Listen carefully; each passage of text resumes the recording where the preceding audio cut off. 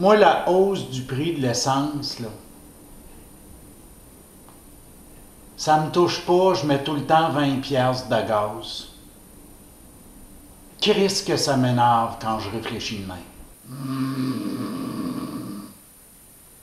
J'aime autant rester chez nous.